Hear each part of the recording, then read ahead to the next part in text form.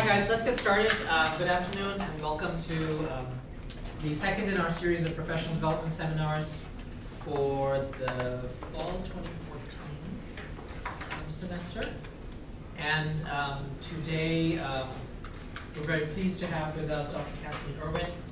Uh, Cathleen is in the Department of Political Science in the Health Administration program.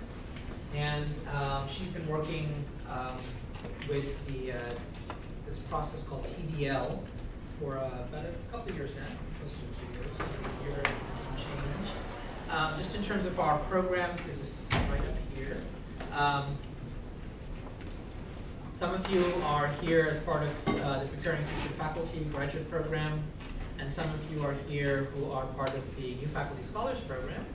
And uh, Cathleen was, were you New Faculty Scholars? I think Yeah, so, kind of. yes, a couple of years ago, absolutely, yes. I'm here. X number of years ago. 2010. Which, you know, some X. Um, and, um, but uh, what's kind of exciting is that with some of this movement towards more student-centered learning going across the campus, um, last weekend we had the uh, Eric Mazur lecture, which is focused a lot on STEM, STEM learning in uh, different types of learning environments, and Cathleen is uh, applying some of these same techniques uh, in her own work with political science. So, uh, I'll turn it over to you. All right, thanks. Thanks, Raj. Um, I'm very pleased to be here with you today to, to share with you a little bit about my experience of what I like to call just diving headfirst into team-based learning. So I'm going to give you a little background, kind of how I've got to this point, and then walk you through the tenets of team-based learning, and even give you some examples of uh, some of the things that I've used in my uh, classroom. I am continually learning about team-based learning. It's been a it's been a process for me. Uh, so I, adopted a holy at first, but even with each iteration of it, I'm learning more about it. I'm trying new things, uh, and it's lots of fun. So who can relate to this, right? No one ever reads, right? You're going to tell me what I need to know. You're going to lecture. Why do I need to read? Give me your PowerPoint. I'm not even going to take notes. I'm just going to have the PowerPoints in front of me. I'm going to look at them and think, I'll remember everything. But we know that that's really not true. Or uh, you ask what you think are leading questions that you think are going to elicit this tremendous discussion in your class to get blank stares at you. You know, occasionally it works, but more often than not, they just look at you like you're crazy. Or you've got two or three students that are always your good students that always speak up while the rest of them remain silent and just allow other people to do the work. I mean, you've all seen this. So I've experienced that, and I just wanted to, and I would also work so hard. You know, I'm poring over the material and I'm learning so much about health insurance, or I'm learning so much about health information technology, more than I ever realized. And it's fascinating to me. And I'm working with students in their major field in the health administration program, they're juniors and seniors. I think that they should be turned on by this material too. If they're not, perhaps they need to rethink their career path. But I'm like, how do I get the students to engage with the material the way I'm engaging with it? Boy, I wish I'd done this when I was an undergraduate. I would have been mortar board or something. You know, I would have been Phi Beta Kappa, which I was not. I'm sure some of you were, but um, not me. I was socializing. But um, so, and I do look at them and I think they must be bored with that, what I'm talking about. And I'll get to the end of the semester sometimes and I'll learn from them that we're confused. But even though I ask them to raise their hand, I ask them to ask me questions, I ask them to come to my um, office and speak to me, they don't. They just suffer through it, right? So I had a, a chance to think about what do I want to do? Do I, now I have an undergraduate degree in theater. Even though I am a health administration person, I'm a business person. I can stand up and talk to you all day long. I could tap dance, probably sing a song for you. But I always was administration. I'm Get not. that on tape. I, that would definitely spice up the video series. anyway, so but that I, by nature, you know, I like to perform. I can get up here and do that. Um, but I usually don't have anybody put their head on the desk, but more, uh, you know, I do. You see their eyes rolling back in their head, and they're trying to assume the stare. Um, so, but what I want, I want students that are engaged. I want students that can learn from each other too. You know, talk about, you know, think about how much you've you've learned by teaching your subject right? So we learn by teaching, I think.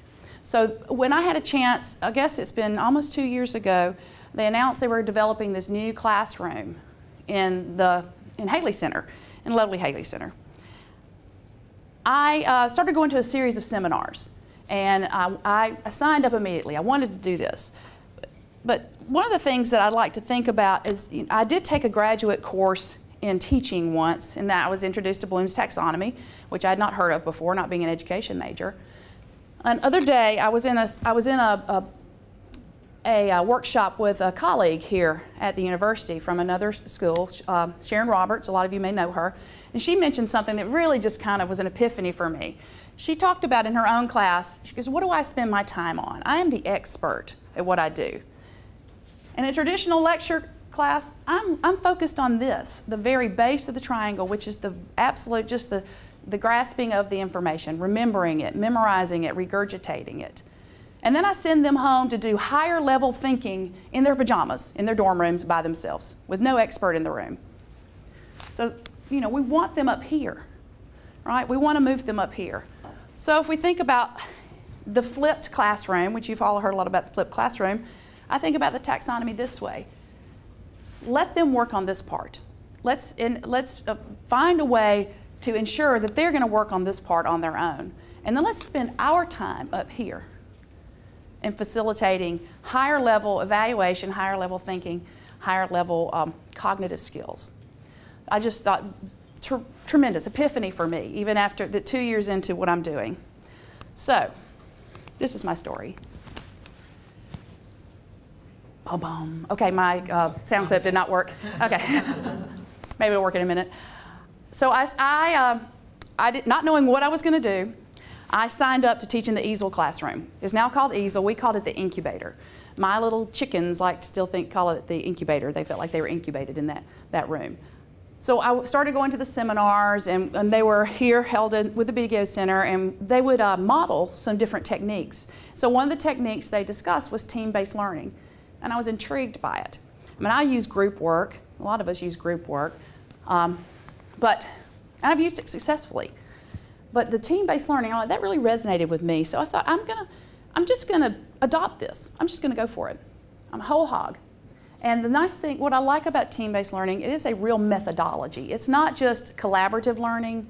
There's similarities to it, but um, it, it really is very methodical in the way it approaches structuring the class. So I have taught two courses now using this um, methodology. The first course I taught was this healthcare quality management seminar. It was a brand new prep. So I thought I've got to prep the course anyway. I'll prep it using a new tech, using new methodology and kind of cut my teeth on it.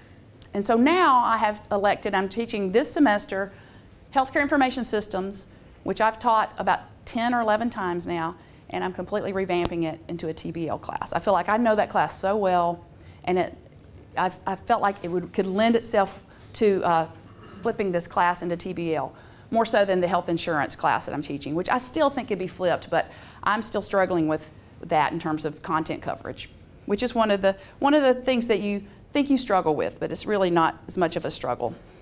So TBL, team-based learning, what is it? So it is a collaborative approach, but it uses a very specific sequence of how um, you dole out the work. There's individual preparation, there is testing for readiness to see if they're ready to progress to the next level, and then you spend the bulk of your time in doing hands-on application exercises for teams in the classroom. One of the things you try to do is to, come around here if you like, come on. Uh, one of the things that uh, I like about it too is that you really give them time in the classroom to do their group work there's a lot of advantages to that. They don't have to find other times to meet. You can work on uh, dealing with any free rider issues. I'm going to talk about that a little bit more. There's several things you do in terms of those students that don't do the work, you know, that divide and conquer, and you know, a couple of the students out of the six are really doing the work. And you also can interact with them and maybe help correct or uh, model or move them along as developing as a team. So the key components are one of the most important things is that you orient your students at the first class about what you're going to be doing to really help them understand the concepts of team-based learning, um, how it's going to be used in the course. It's different than what they're used to. I haven't had a student yet who's really been in a team-based learning course. I think going forward we're going to find that uh, it's going to become less and less because we're going to adopt it more widely across the, the um, campus. Um, but after the orientation, um, you also want to have specific, uh, specifically designed um, permanent teams. It's really important that they start with the same team and they, they keep the whole team throughout the semester. Very important. And there has to be a methodology behind how you put those together. I'm going to touch on that in a minute. Then we go through what is called the readiness assurance process. And this is to ensure that both individuals and then as teams have studied the material they were supposed to study before class and are ready to go to the next level, to that higher order thinking. Then doing these in-class team application exercises. Some are graded, some are not. And then also there is a, there is a um, component of peer evaluation in this as well. So they are keeping each other accountable. So basically the course structure, I break my courses into modules and they may range from five to seven modules. I think I'm working with five in the course I'm doing right now. For each module, I have some assigned readings or either videos.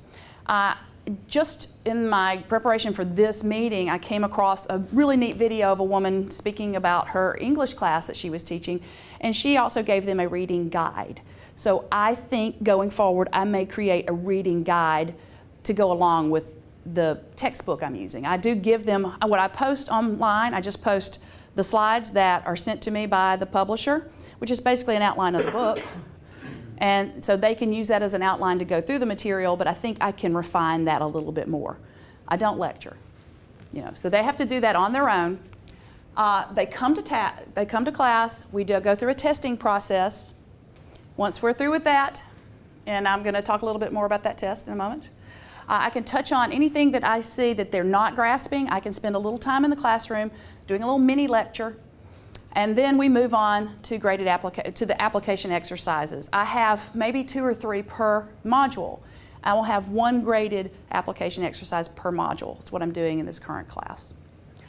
Um, also, in terms of grades, I'll show you in a, a bit, there is both an individual component to their grade and there is a group component, a team component. Because you want to make sure that individuals are preparing so they can be effective members of the team. So, and I also will show you in a little while, one of the first application exercises I do is I allow the students to help determine how those grades are going to be weighted. It's a great exercise, so much fun. So we work on group work in class, often, not, every, not with every application exercise, but especially with the, with the ones that will be graded, there is an individual homework component. So they have to do something at home and bring it to class with them, and I'm building on what they've done. So they have done a minimal preparation to take so that they can contribute to that team application exercise, to be informed members. So this is kind of the structure of activity and the time it takes. Individually, they do that on their own. I teach an hour and 15 minutes. Uh, I'm going to tell, I'm going to give you a resource in a little while about team-based learning, but this has been used for 25 years. This was started by Larry Michaelsen in the University of Oklahoma with uh, his management classes that when he was going from having 40 students in a class to 120 and he didn't want to lose what he had. So he's kind of developed this, this methodology. It, but since that time it has been used widely across all disciplines um, and in 55 minute classes and in hour and 15 minute classes. But for me, I take, you know, they come in, they sit down, they take their test. It's a Scantron, and the type of test that it is, it's just, it's big concepts. It's not minutia of detail. Um, I've heard it explained this way. It's, it's table of contents level information, not index level of information. Once they finish their individual tests, they take it together as a group. And I'm going to show you a little bit more about that in a moment then I'm able, with some instant feedback. I think that one of the most important things is through the group testing, they get immediate feedback about whether or not they know the material. They have to discuss the material with one another. That's where a lot of the teaching goes on, where they're teaching one another. Um, you give them an opportunity to appeal. Maybe there's a bad question. Maybe you purposefully put a bad question in there. There's a process where the group can say, well, wait a minute, that, I know that that is the right, the right answer is A, but it says it's C. So you give them opportunity. I have a form. They can take any material they want. They can pull the book out, and they have it's a methodical way that they can show me uh, why they think the answer should be the other, and put give me evidence why it should be. And so I can elect then whether or not to to award that team extra points, the points back for that. So you give that process. And I, the first time I taught TBL method, I didn't have a single appeal. I don't think I really incorporated that well. This time I have, and it's really been kind of fun. It's been fun to, I've only had two or three groups try it, but they have, a couple of them have done excellent jobs of making the case for changing the answer, or for the, the answer that they had was right. Um, at that point, I can do a mini lecture and cover anything that I feel like I need to cover based on the, you know, the 10 concepts I wanted them to know. Maybe there's one or two they're a little fuzzy on, and I can give them a little more information. And then for the next two, three, four classes, I'm going to spend time on application. So, in orientation, once again, very important that they know why you're doing this. You got to get the buy in. And then you've got to stick to it because if you go back and forth and back and forth between the methods, I think it does, it's not as effective. And that's based on a lot of the reading I've done. There's been a lot of research done on TBL uh, over time. Uh, one of the things you can start with is your own course objectives. My course objectives go beyond uh, just knowledge and remembering facts. I'm sure yours do too. I'll show you mine in a moment. And I also took an opportunity in my, this is the first class day, to do a demonstration of the readiness assurance process, where I gave them a little test on the syllabus. It was a, you know, it's no, no stakes test, but they were able to kind of experience what that was going to feel like, to take it individually and then to get together with a group and take it. I didn't have my, I think I did that the second class, because I formed the teams the second class. So these are, these are just a, a snippet of my learning objectives. I use domains from um, our field, they're the competencies. And I'm sure like your field, our field is not just about whether they have knowledge of the healthcare environment or if they have business knowledge and skills.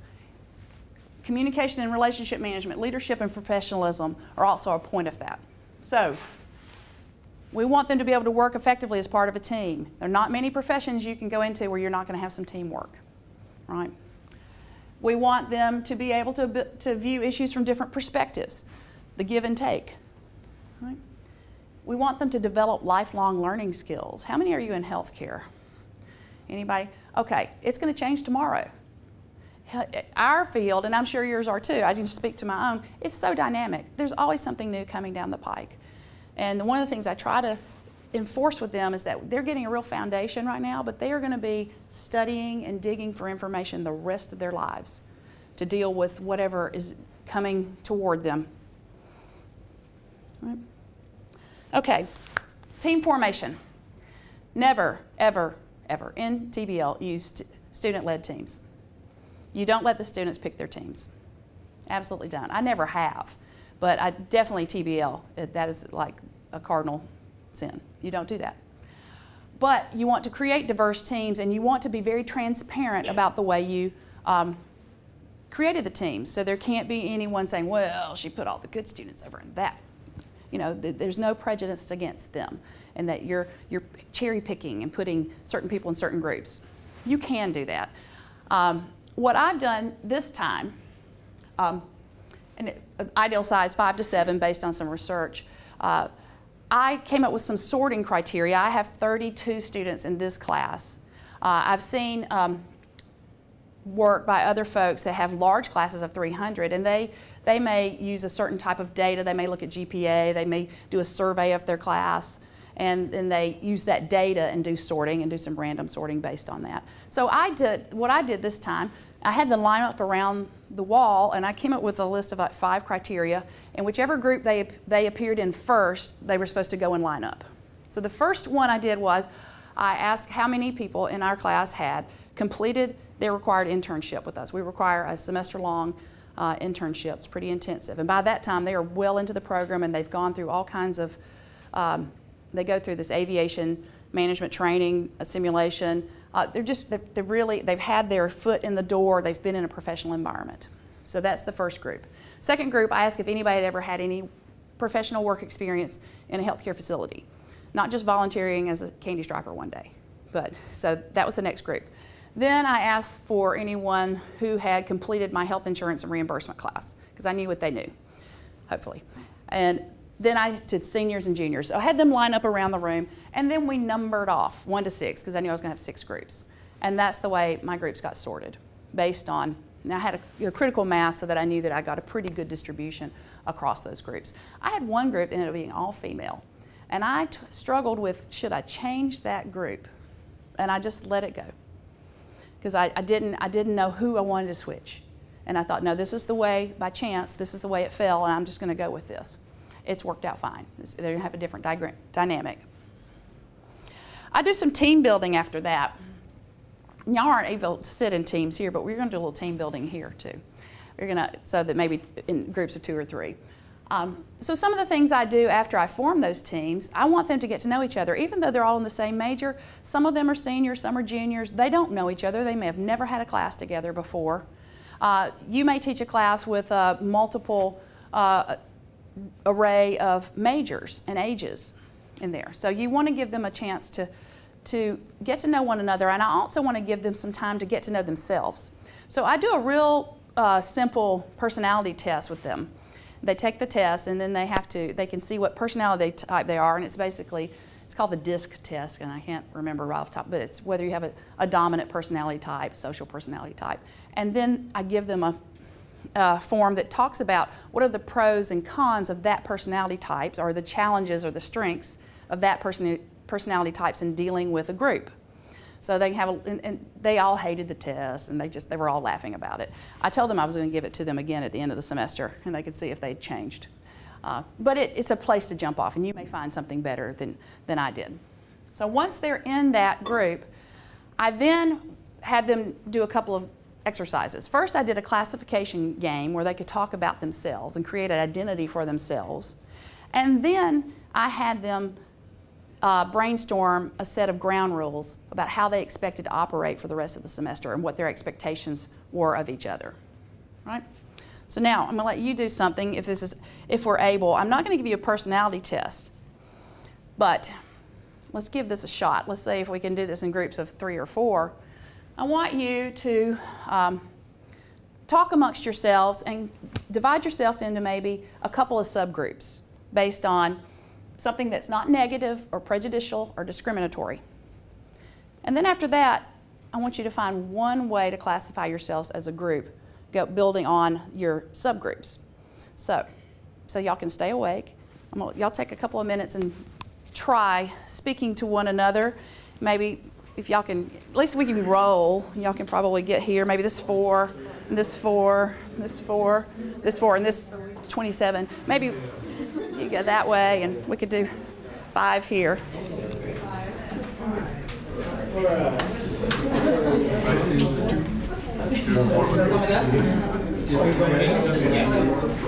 And then we have to separate. Remember, if you want to, um, in the interest of time too, if you don't want to spend all your time on the subgroups, can you find a classification for your group? a commonality in the way that you like to characterize yourself. Because it obviously, you know, or you can keep it with the subgroups, but remember, it can be negative, prejudicial, or discriminatory. Um, just classifying yourselves.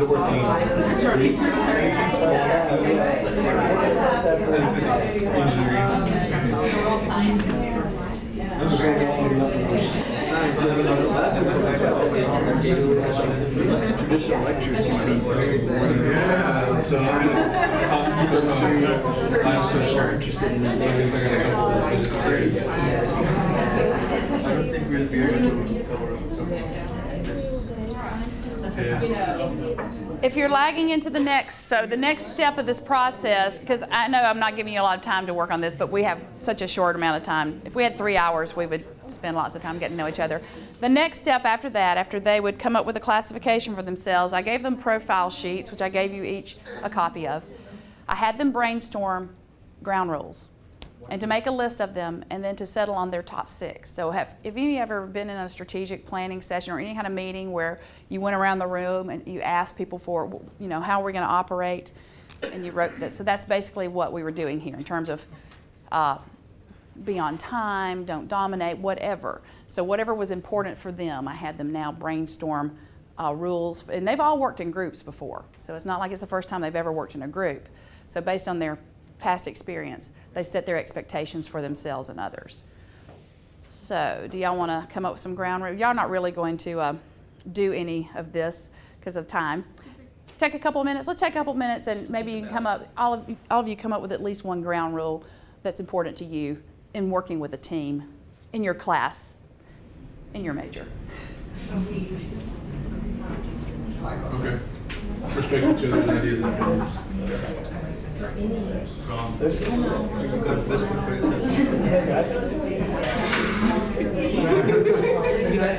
we You. I think it's so important.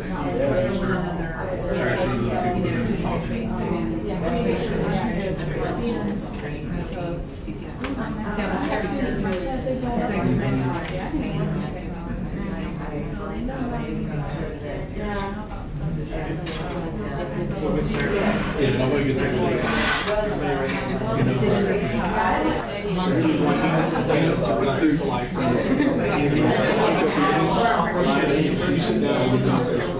know, I was about to say, my students would never. They would say it a different way, but they, I hope when they get to that point, they'll call it collective responsibility.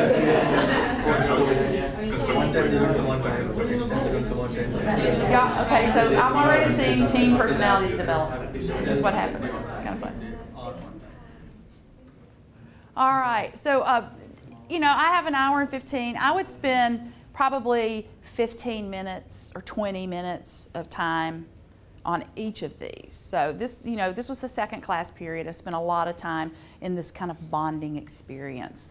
Uh, and then I, I, I collected their, uh, their papers for them, could scan them, so they also would have a, a document copy in Canvas with their group. I create groups in Canvas uh, so that they can remind themselves of the ground rules. Oh, I'm curious, uh, how are y'all related? What's your classification?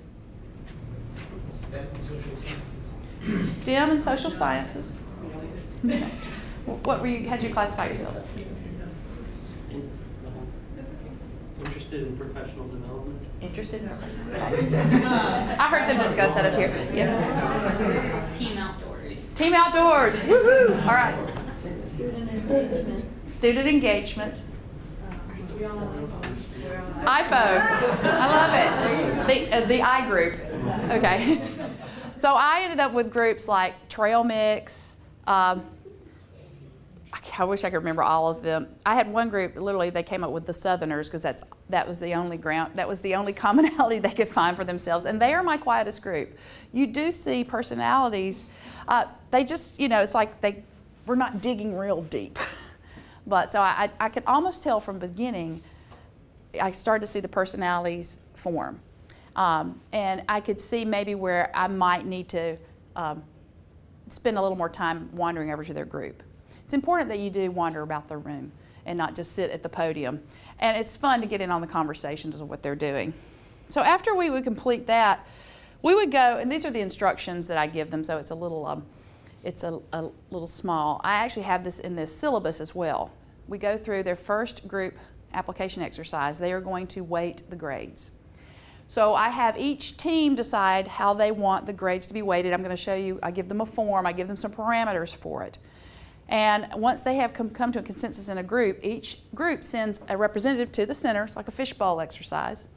And then those team representatives then negotiate and come to a consensus on the grade weights. If there's real dissension, they can go back and renegotiate. They have to go back to their group and renegotiate. Uh, when I send you out to the team-based learning website, there are a couple of really cool videos in there where Larry Michaelsen had taped his group, and now he has graduate students in management, I think. And it was a real interesting, long negotiation back and forth. Mine negotiated pretty well. It was interesting to hear them talk about how they wanted weighting done. So they get this, and I didn't, let's see, sorry, this should be, this 25 should be here. I didn't adjust my um, tabs. So there's an individual component, there's a team component, and there's the, the evaluation, the team maintenance, which is the peer evaluation. So, um, within individual readiness, I gave them some parameters that their individual tests could be between 10 and 25 percent. Individual homework could count between 10 and 25 percent of their individual component grade, and that their individual topic paper had to be at least 50 percent because it's uh, that's, a, one of their bigger, it's the biggest individual exercise I have. Then I I set the team performance. I just dictated it was going to be 25, 25, and 50. And so then they could decide which of these components, what, you know, what was the individual component going to count as, what was this going to count as, and what was team maintenance with the, with the instruction that the, one of them, nothing could be below 10%. So obviously what usually happens is they make that one 10%. They make team evaluation and they debate over the others. And you can see then whether they trust each other. And the ones that don't are really afraid they're not going to do, you know, that I don't want my group grade. I want my individual grade. Um, now that they've had a, a seven weeks of class, I bet they'd like to go back and make individual readiness 10%. I think they made theirs a little higher. Uh, statistically, the about 98% of the time, the group grade is sometimes substantially higher than the individual test grades or the. So they, yes, So once they determine this, that those weights apply for everybody. yes, that is the way. So this, so I go back and I adjust the syllabus, and that becomes the grade weighting scheme, and that that they so they had some control over how they wanted to uh, the individual and the the team component to um, operate. Yes, ma'am. Have you ever thought about just letting them loose and letting them decide just everything? No, because at this point it's so new to me. I'm, I'm, I'm really going uh, using what the experts are telling me eh, based on their experience with it. So I, I, a lot of this, this is not something I've created. I mean, I am, I am living with my, between this book, which is the first place I started, and um, I'll show you this in a bit, and the, the website, the teambasedlearning.org website, which is not the best designed website, I have to say, but there's so much information in it, and, and it's almost like an onion. I keep peeling back layers and, and trying to read, you know, read other from other people's experiences. But it would be interesting to see. I think they would just be. I think you have to give them some boundaries because they wouldn't. They've never done that before, so I think that it might freak them out a little bit. But we could. Yes, sir. Will it be kind of unfair to the top students? You know, for example, if you consider twenty percent of the students are top students, they are minority compared to the one that's actually like to do work groups. But the twenty percent probably prefer individual performance, since they know they're good.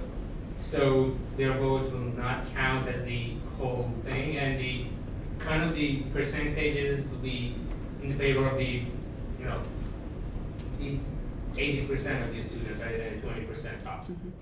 Interesting, you should say that. This is something Larry Michaelsen, and I just watched a video with him discussing this, and he has been doing it for 25 years. And he's only had one student in 25 years score higher as an individual than any of the groups scored on the test.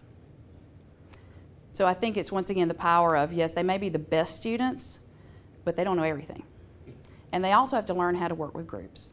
So, but statistically, I mean, he's, he, after all these years, only one student has scored higher than a group score.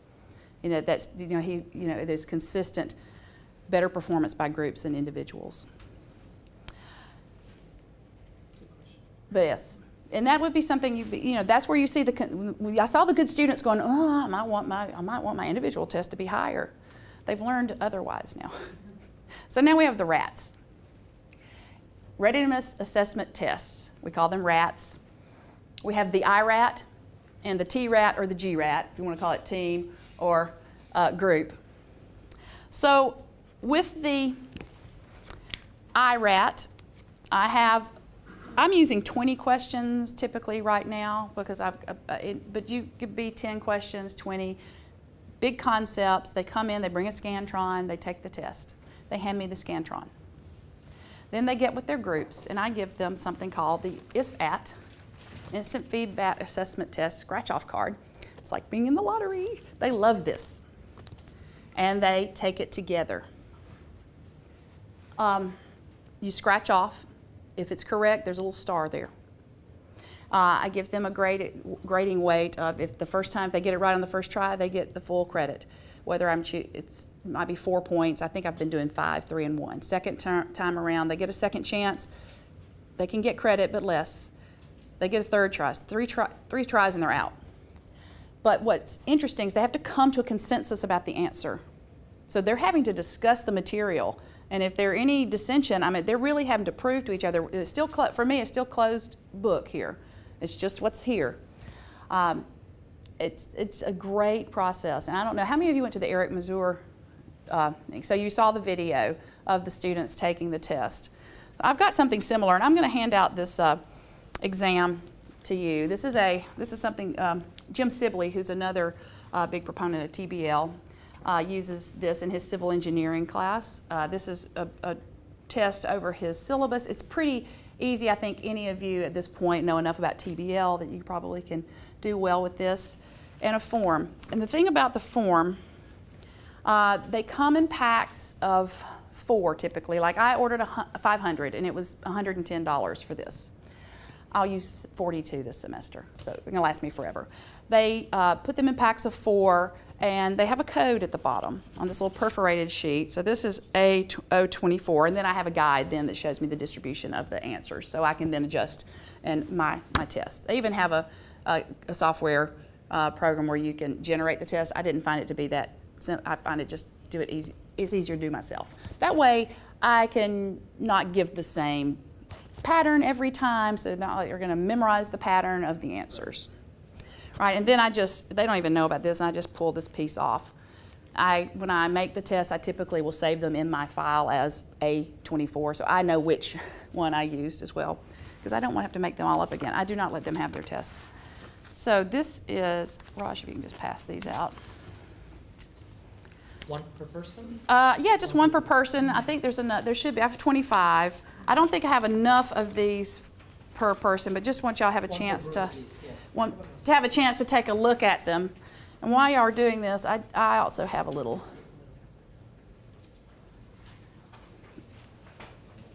This is from University of Sydney. Okay, so here's the first part of the test.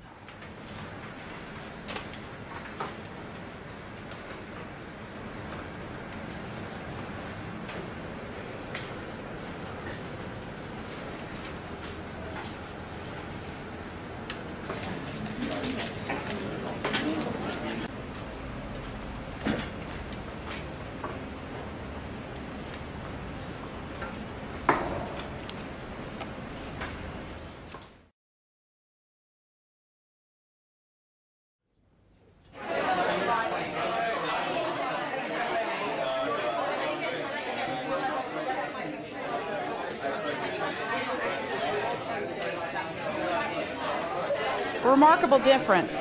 The, the, the IRAT is just like you always expect. It's that test anxiety. They all look really miserable. They're, and then the room comes alive when they do these. I love, this is my favorite part of the class. Absolutely, I love watching them take these tests. And, and they're so engaged, and there's great debate going on. And I'm just really impressed sometimes with the arguments and the reasoning that I'm hearing from each of the group. So if you want to try that, try scratching something off, and you want to take a look and see what it looks like. Um, these come from an organization called Epstein Educational Resources. It says across the bottom there, Epstein Educational Resources. There's a link to it from the teambasedlearning.org website. They come in different iterations. Uh, you can get them in 10, uh, 10 questions, 25, or 50 questions.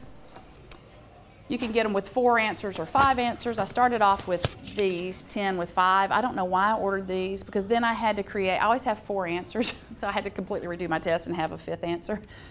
So, uh, but they range anywhere from $85 for a pack of 500 of these and upwards.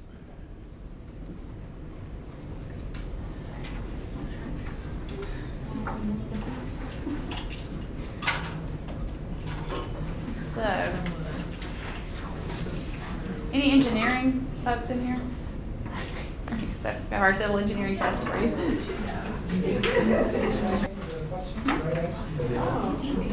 Yes, I have. I have used this. Uh, I have set up this test to go with that form.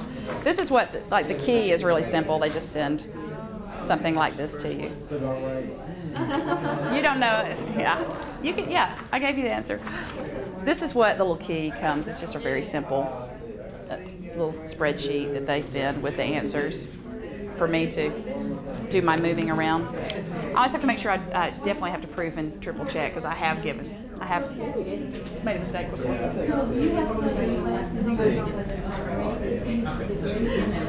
Uh, no, I actually I take the scantrons and have them scan. But uh, Jim Sibley says he has like over hundred students in his class. He can sit there and hand grade the scantrons in the time it takes them to do the group. So if you want to, but they know what they've made. I mean, because they've circled their answers on there, so they immediately know what they made on their individual test without it having to run through the scantron.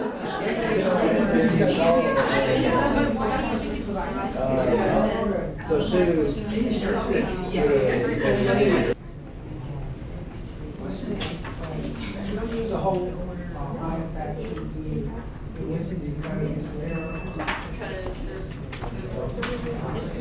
That's why I'm using 20.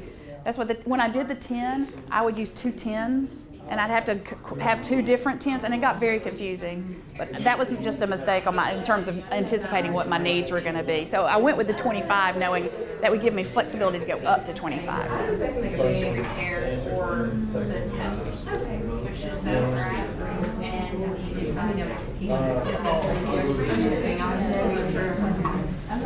There's usually some, you know, we have to pass around. Y'all were talking about having roles a while ago. So one of the roles would be who gets to scratch off this time.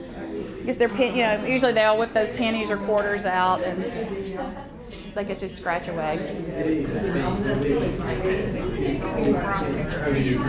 And they really do like cheer like it's a football game when they get something right. Sometimes they're like, wow.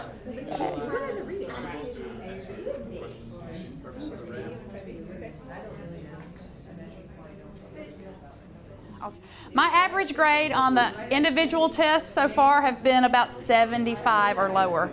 And the average on the individual, on the GRAT is closer to an A. It's probably right around an A. They're remarkably different. I am allowing every student to drop their lowest individual RAT score. I give them six, they're able to drop one, which they love because it, I think sometimes like the first one caught them off guard. Some of them did well, but I had some that bombed. I'm talking, I had 50s and 60s. Yes, I do. If you'll see on the score, I let them score it themselves. They get, um, so for 20 questions, I let them have, there's five points for the first time right, three for the second, one for the third, fourth try at zero. So they, they tally it up. I just double check it and boom, there's, they know immediately what they made. They have to discuss the material and and I also can I then go through as they're handing them up, I'm writing down, you know, which ones did they miss? And okay, well, four of them missed this question, so I know there's something I need to discuss in class. All right. So can you can you see where this would be how much fun this would be for them because they really do feel like they got a lottery ticket and and and the the teaching the learning there's a lot of learning that goes on during this process it's amazing uh, they score themselves I I um, some people do four two and one I've used five three and one depending on the number of questions I want it to be you know 100 percent uh, it depends on your grading scheme. I mean, you know, based on cumulative points. However, there are a lot of ways you could score it. I know Larry Michaelsen does his on like cumulative points. He doesn't do it as a percentage of 100, um, but just different methodologies to that. So they have given me their, in, they, um, what I do is I keep them in packets. I have a packet for each group. So they all have the same test. They take it individually with a Scantron. They bring me the Scantrons. When I have all of the team's Scantrons, and I hand them the IF-AT form, and they sit down and they take that. They will score it themselves. They hand it to me. I double check it to make sure that you know, and they're all they're all, you know, very honest. So I, they've always calculated correctly. But I also take my key and I go through and I mark. I circle the questions that have been missed and the number of times it was missed, and that gives me an idea of what I need to discuss, or if I need to discuss anything. So I will spend usually, I probably have about 15 minutes left at this point in the class. and I do a little mini lecture. And I also, at this point, might you know assign them something to, for the next class if I have any kind of homework. I use a form. I use a, I use a lesson planning form. I've created one, and I, I put sticky notes on it with my ideas of what I'm going to do. And what I've been trying to do this first time around is I'm not marking time because it's hard to figure out how much time something's going to take. So I'll just have a little sticky note that says IRAT, and I'll get a sense, oh, that took 15 minutes or 20 minutes. And I'll say GRAT, oh, that took 30 minutes. Or this application exercise, they were completed in 10 minutes. So over time, and I can move things around. So that's a, one of the another little tips, little tricks. And I just created the very simple form um, to use.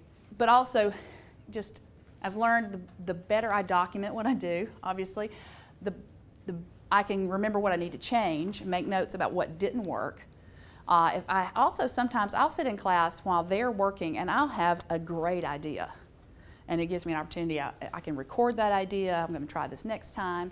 Um, sometimes you feel like you're not doing anything because you're not really. You're doing a lot beforehand. But in class, a lot of times you're not doing anything, and that's very different. And you can make you feel weird.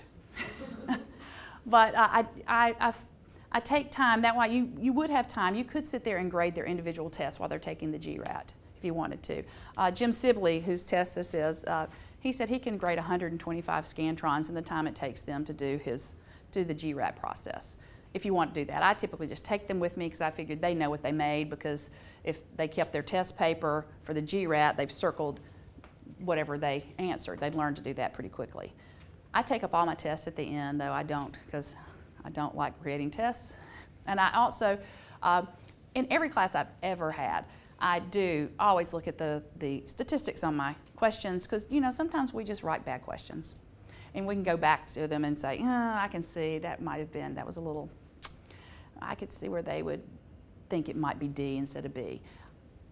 After they take their group RAT, this is when they have a chance. If I have a group that says we want to appeal, I hand them a form.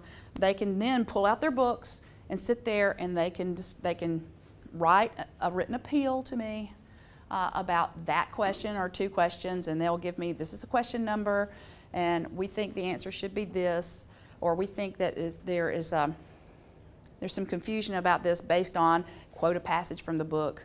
You know, if they can show me the evidence to support why they think the question was a bad question or that the answer uh, could be there were two right answers.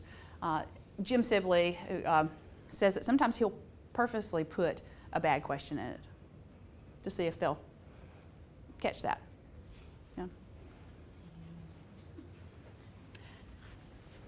I've thought about trying that. So far, I've just had my own bad questions. I haven't had to do it on purpose. okay. All right, so the application exercises, just to kind of, we'll wrap up with this. Uh, they have to be a significant problem. They, all the teams need to be working on the same problem. The problem needs to require them to make a specific choice, and then they simultaneously report their results. Uh, this is something that I, we did this in, um, I'm not going to be able to model this for you today, uh, but we did this in those seminars that I, when I went through the EASL class. And um, we had a group and we had to plan a menu for something. I just remember we, they gave us a pretty simple thing that all of us in the room could relate to. And so we did that. And what I do in my classroom right now is I'm in a regular classroom this semester. I don't have whiteboards all the way around the room like we do in the EASL classroom. EASL classroom is great. It's got these glass boards all the way around the room and individual monitors for each group. So you could have people write on the boards, you could have them create a document or you know project it.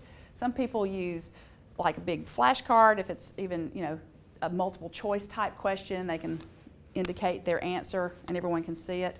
But what I'm doing right now is I use those ginormous post-it notes. Have you seen the big easel pads?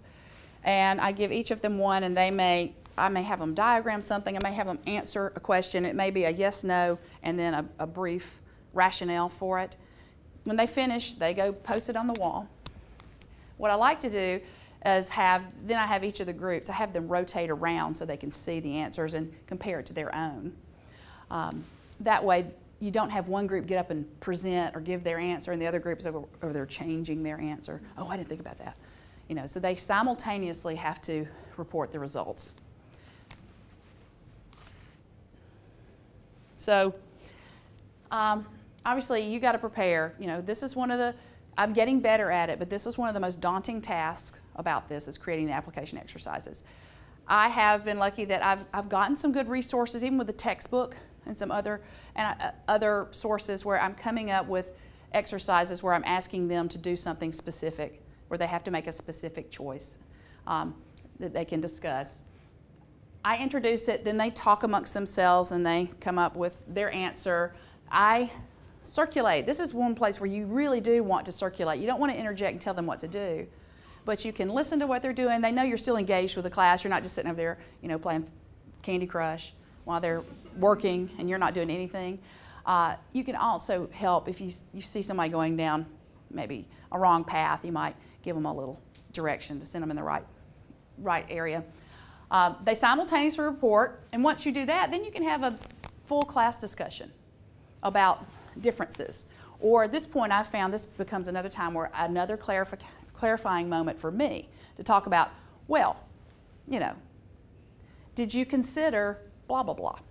And they're like, oh, didn't think about that, you know, to have them dig deeper.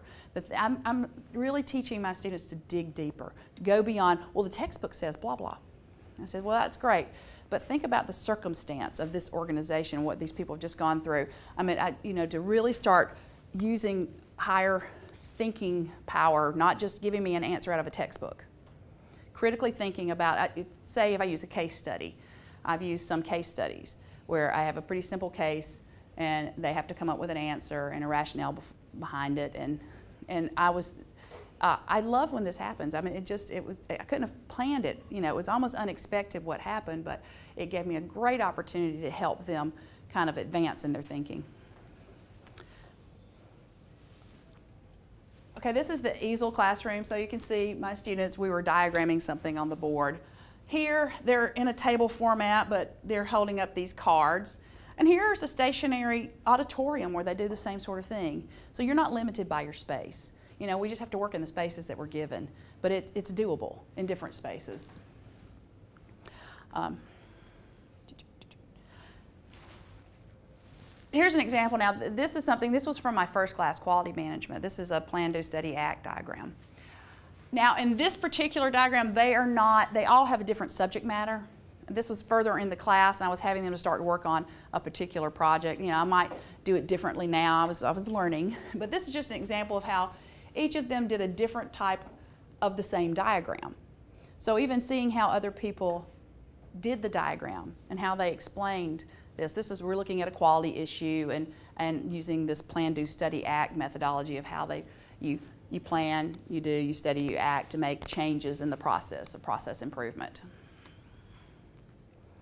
And finally, graded application exercises. So I may have, uh, you, you first you want to work on, I start with something simple, like the first exercise we do in class is probably pretty simple con concept. And then I may have them do some homework, and the next graded application exercise is a little more complex. And then the final one, the, the graded application, is definitely going to be have the, the most complexity to it. The individual homework component counts as 20 points, so they have to do something in preparation. Uh, then they come in and there's some kind of deliverable at the end, whether it's a diagram, an answer, you know, I find a way to structure it to give them a grade. So one of the examples of something I've done is I, just recently, I was teaching them about uh, data quality and all, even going up to relational database modeling. So I, they, they've become, they're pretty familiar with uh, clinics because they've all been sick. They've all gone to the med clinic to get their excuse, right? So um, before this in-class exercise, I gave them a patient identification sheet, you know, the, the sheet that uh, is filled out with all of your pertinent info when you go to the doctor's office. And I had them take that sheet and create a data dictionary. And I gave them some instructions about how to do that. So it was baby steps. So I had them do that first. Then so I give them the scenario that Alice is absent and she goes to this you know, she goes to the doctor and this is what happens to her. I want them to kind of do a workflow diagram of the steps that she goes through in that clinic. And then on top of that, to at each of those steps, what data is collected and at that point. So just starting to think about all the different types of data that get collected. So I did this one day. The next time they came in, I, I gave them some videos to watch about relational databases. I even put a relational database map up on the screen to help them. And then I had, I said, after doing this, I wanted them to start making a list of tables and start grouping that data together. How would they group it? What makes sense to them? And then how, you know, creating the relationships between the tables. So it's almost like a card sort, but this just very, very rudimentary database modeling. But they, you know, I did it in iterations, so they it really started to, to, um, to gel with them. Now, before too long, I'm going to take them into a lab, and we're going to be working with a, an EHR that's been donated to us, and they're going to see all the, the, the table maintenance, and they'll see the tables. Uh, we'll talk about the forms, you know, so they're learning more and more about databases this way. Even though it's not a database class, this is just one small component of this big class. You know, I tell them they're not going to have, they can't take apart a computer, but they need to be able to talk to the people who do take apart the computers, right? They do need to be able to speak to the programmers. So they need to have some foundational knowledge of it. Okay. Any questions about this at this point? I mean, you just think through your own work and what you do and what might lend itself. But I think the important thing is those four S's again. The same problem, significant problem, specific choice. They really have to commit to something. And the more specific, the better. And then that simultaneous reporting to, to generate the larger discussion for you. So you just give application after application during that, that time period? Yeah, and they take longer than you'd think. This would take the, uh, that one step of that would take the entire class. I give them a plenty of time. They can use any resources they want to use. They're bringing in laptops, they're bringing in iPads, they bring their book.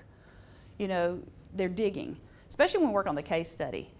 And they're, they're digging through the book thinking they're going to find the secret answer, you know, but they're having to go back through the material and they have to know it, and they're, or they may bring notes in um, and prepare this.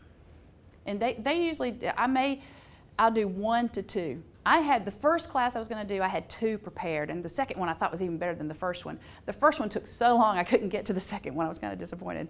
So, you know, like that's why I said I, I keep kind of a running log so I can judge the time it's going to take to do things. You know, by the time they scoot their desk around, they chat and they start talking. It doesn't, it's new for them. It doesn't come as quickly as it might for you or me who knew that material really well. All right, so in closing, I've got a, a handout here that's from teambasedlearning.org. I'm going to that, um, and I'm going to talk a little bit about who this might not work for. This basically recaps a lot of what I just told you. Okay, so who's this not going to work for? Okay. This may not work for you if you do not if you can't figure out how you want your students to go beyond learning and remembering content. And not, I'm not, that's not a criticism about any way. I'm just saying if it's, if it's, if you can't kind of see beyond that in terms of it's so important they've got to learn and remember that content. I told you I'm struggling with my health insurance and reimbursement class. I'd love to turn that into team-based learning. It is such new material for these students that I use some elements of this, but I haven't gone full on TBL with it. I do more of the collaborative learning, you know, just occasionally, kind of more casual get together and discuss within the, the classroom. Um, you will get challenged.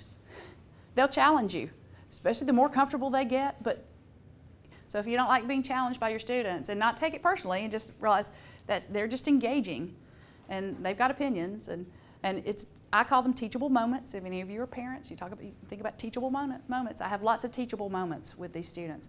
I learn from these students. Um, if you like doing what I'm doing right now, and uh, just always being up in front of them, I don't feel like I've lost any of that. I, I, I do, it does feel a little strange not standing up and talking in front of them all the time, but I really enjoy now that I'm walking around and I'm engaging with them four, or five, or six at a time, and I'm listening to what they're talking about, and, and I'm interacting with them instead of speaking at them, which is great. And if, if, it, if you don't want to redesign what you're doing, it does take a lot of time. I'm not going to tell you it takes more time than my lecture courses. It's just different. I'm not spending all my time putting PowerPoint slides together and trying to, but what, what's really important is you have to, I've had to examine my learning objectives more closely than I ever have before and to really boil it down to, okay, out of this module on data and information, what is what are the maybe the two most important things that I want them to take away from this? And that's how I build my application exercises on what I really want to emphasize and make sure they can walk away with. Uh, that, so that, that's, that's a little different than having, oh, here are my course objectives, and now I'm going to lecture, and I'm going to give tests, and I may have some group projects. So it's just, it's just different, and, and it does take, but it, it, it does take time. You get into a rhythm. It was really scary. I was frightened when I started doing this. Honestly, I just had, I was like, how am I going to? I'm gonna, it's going to be a total failure. But part of that is getting the students to invest with you. So I got a question for him. If you have a team of five to seven, will there be any free riders in the, the team, and how do you handle those? Yes, good question. In team-based learning, you it's structured in a way that you really don't get the free riders. They're all having to, to take the test individually and then speak together. Uh, they're all having to do some homework and contribute. And one of the neat things that happens is you get your introverted students that never speak up. And sometimes they're some of your best students but they just are so reserved. They feel safer speaking with four or five people than they do in front of the entire class. And what, you, what also occurs sometimes is maybe the one that's quiet, uh, they come to a consensus on the answer for a test. And that quiet person doesn't really speak up. And the rest of the group says, oh, it's B.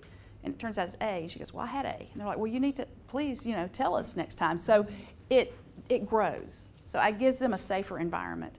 But you, you try to structure everything so that you don't have the free riders and they're going to evaluate you at the end of the semester.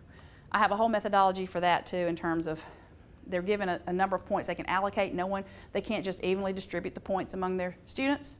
They, somebody's got to get a 9 or less, somebody's got to get an 11 or better. They can't give everybody a 10. I, I just read yesterday about a, a, group that they do a mid um, mid-semester evaluation and an end of semester evaluation. I haven't done that, I may try it. And they, they um, use a form where they ask them to give them one, something uh, they really like about the way their peers contributing to the group, and then they, maybe something they would like to see their peer do. And then the, you take that information and uh, kind of assimilate it and give it to those individual members so they can get some feedback about where they are in that peer process so they keep each other on track. All right, so that is it for, yes, sir. I just have one quick question. Um, maybe it's a little bit long-winded, but uh, my wife did a lot of this team-based learning stuff in her major, and when she talks about it, I find it pretty interesting. But I'm an engineering, and one of the questions, I guess, is I've heard uh, a lot of these different approaches, and a lot of different people talk about their approaches. It seems like these uh, methods are applied sort of later on in your teaching career. Um, one of the things that was mentioned in our last PFF class was that uh, the sort of the directive was not to, not go off far off the reservation early on as you're establishing your research program. Um, what kind of departmental buy-in do you really need at this level to implement something like this? Um, because I, I just, I guess coming from engineering, you know, steadfastly holding to tradition, I feel like this would be a hard pill to swallow. I don't know. It's being successfully used in engineering all over the country. So it's in, in, in the health in the medical profession. A lot of medical schools have gone to this. Uh, but yeah, I got the same. I'm, I'm in my this. I just begun my fifth year. Right, this is second career for me. So I was. I'm a. I'm a. I'm an old junior faculty member. Uh, they don't tell me what I can and can't do in my classroom. So I didn't ask for buy-in. I just did it. In fact, they would probably tell me not to do it but you got to make that decision for yourself in terms of where you. Yeah, I think that's my. Yeah, you got to make that decision for yourself, and I didn't do it. I did it fall of 2013, so I was at the beginning of my fourth year. But I spent the year before that kind of going through the stuff. But since I've been here, I am committed to teaching. I love teaching, and I do research too, and I'm doing fine in research. But I'm, you know, and I have the uh, expect, you know, there are expectations in both. So if anything, I've had my powers that be tell me along, well, don't worry, to spend too much on your time on your teaching. I personally have a problem with that. That's me because I figure that's what, you know, that's just the way the university is. They, Okay. we hold that research up here, but gosh, this, these students are paying a lot of money to be here. I really appreciate that perspective, because I feel like Yeah. that's, some- that's kind of the, my synthesis of all I the just did it, received. but I had to know what they're, they're always, you know, I've got to know how do I balance what I want to do. And the first year I was here, I spent a lot of time in the writing initiative because I'm very interested in communications. I was communications director uh, and writing in the disciplines. I got very interested in that. I did a little research on it. It's not valued by my department at all. So I had to make sure I was doing all the other stuff too. Understood, thank you. I have a question. Um, do you feel that the approach, the, when you adopted the approach, did it in any way affect, for example, the uh, amount of material you wanted to cover? Just because it was di- different times, the time was spent doing different activities, did it affect that at all? I don't think so, because I think, for one thing, for the first time ever, they were reading the entire textbook, right? So I still am covering the same amount of content. I'm spending less time of my time on some of the content. But I, yeah, so they're having, I'm really putting it on them to go and dig and get that information. There is no more question, let's, definitely around a little more.